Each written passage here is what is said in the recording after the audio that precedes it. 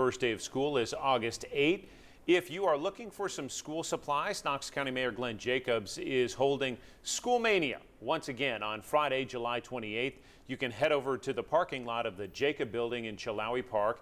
There you will see receive a bag full of school supplies and it will be a first come, first served basis, but they do have a couple thousand to give out. You can also receive free school supplies and free dental screenings next week. It is through Blue Care Tennessee and DentaQuest. Those dates and locations are on your screen right now. They run from 11 in the morning until 3 in the afternoon all days, and you do not need an appointment.